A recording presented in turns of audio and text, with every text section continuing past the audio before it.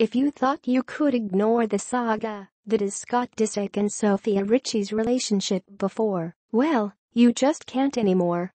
For months, rumors swirled the web that the 34-year-old father of three and the 19-year-old daughter of musician Lionel Richie and younger sister of Nicole Richie are dating. If the 15-year age gap between the couple isn't enough cause for general confusion, take a second to imagine the intricate connections that can be drawn between the two of them outside of the fact that they are now romantically linked.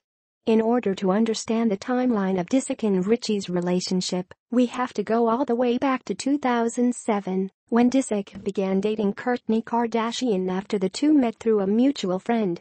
They now have three children together, seven-year-old Mason, five-year-old Penelope, and two-year-old Reign. You've seen them grow up on Keeping Up with the Kardashians, a show which also portrayed their parents' sometimes tenuous relationship.